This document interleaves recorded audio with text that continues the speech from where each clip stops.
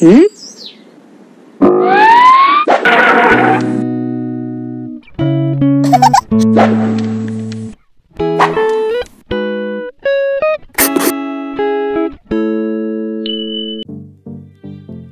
Top 15 Best Advice to Medical Students. Number 15. What's your dream job? What do you want to do when you grow up? Uh, I'm gonna be a doctor. Yeah. How much do you want to make? I'm gonna make people feel okay.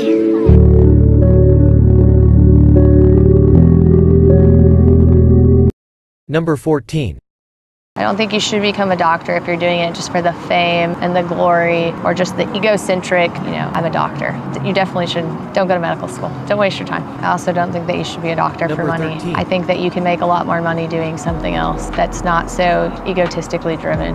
But I think the only people that should be doctors are the people who truly want to help other humans. Number 13. Five mistakes I made in college so you don't have to.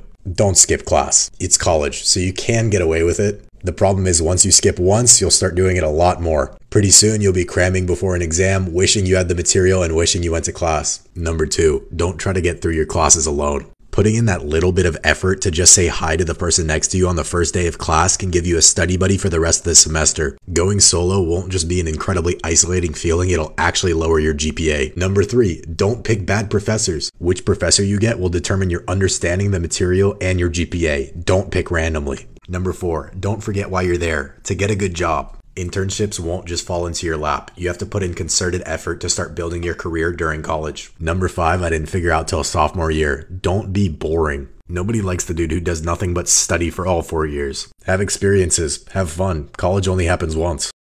Number 12. honestly, my advice to medical students is don't let medicine take over your life. We need doctors that are human beings that have got some real life experience. We, we don't need walking encyclopedias that can just tell you about every single condition. We need to be able to communicate with people, and the only way to do that is keep up your hobbies, uh, make lots of friends at university, get a part time job, learn the value of money, and um, yeah, study smart. Don't study long hours just for the sake of it. Have a plan, and um, yeah, enjoy the ride. It's hard work, but it's rewarding in the end. And um, don't put too much pressure on yourself. If you do the right amount of work, you'll pass the exams. But you got to enjoy the process. It goes by in a flash, and the next thing you know, you're 14 years qualified. You think, where's the time gone? So just enjoy it. Number 11. What I wish I knew in first year. So, first year is going to be the year that you learn how to learn. You are going to have to get used to learning in a new way, and you're going to have to try a whole host of study methods. And I really recommend you try all of these as soon as possible. Try the flashcards, the mnemonics, the posters, the mind maps. Try it all and see what works best for you. What is helping you retain the most knowledge? Unpopular opinion as well, but actually probably getting more popular these days is that you do not have to attend every lecture, but you do need an understanding of what's going on. And what I mean by this is that if there was a seminar on a topic and I hadn't gone over the lecture for that topic, I would watch that lecture, answer the worksheet or the work in advance for that seminar, and go and see what other people's answers were, try and contribute to the discussion, and basically discuss really difficult concepts because you will take something away from that seminar. And something I personally found useful is attending things that were practical. I go to a medical school that did human um, cadaver dissection, and trust me, when you're dissecting a dead body, you never forget it. Number 10. Medical school will humble you. If you thought you were smart before, forget about it. I remember like growing up in primary school, secondary school, I used to think I was kind of clever, you know, because like I would do well in tests and exams and stuff like that. You get so used to being the smart one amongst your school or whatever space you're in. And then all of a sudden you're thrown into this pool full of flipping geniuses. And all of a sudden what you called smart is now below average, if even that. Do you know what I mean? Like, like just think about it like this. You're used to getting A's or B's and stuff like that, and you're so happy with that. And now all of a sudden you're putting in the exact same amount of effort, the exact same effort, or even more, and you're getting C's or D's.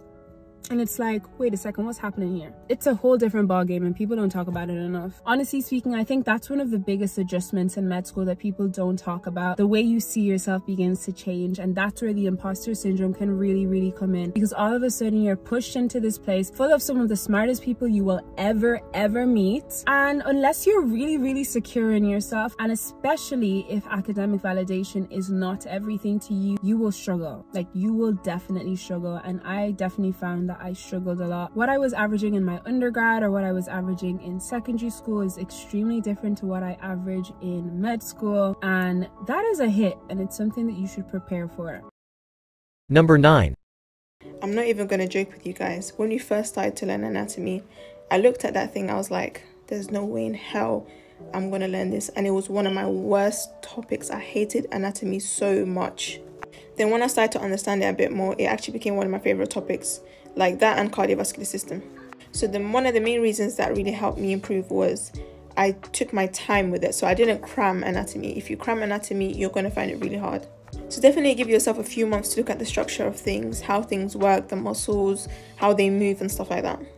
I would also recommend, um, especially for the shoulder anatomy and the movements, definitely do quizzes of these movements like flexion, extension, all of those things because it can be hard to remember. Also look at the origin of these anatomical names because sometimes it can really make sense if you look at the origin. Number 8. It may take you twice as long. You may have to take courses and classes.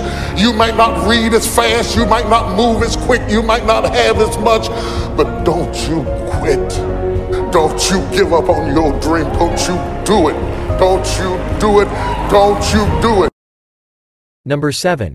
So much easier to recognize other people's wins and not your own. Be kinder to yourself. Be nice to yourself because those words stick. The words that you actually say to yourself are so detrimental to your self esteem. Number 6. My world's so bright, it's hard to breathe, but that's alright. Hi, Ruben here and welcome to Anatomy Movement, where anatomy becomes funatomy. We have summarized and detailed notes, acronyms, HD images to build your photographic memory, X-rays images, tabled notes and questions and answers at the end of each video to help you remember all that we have learned.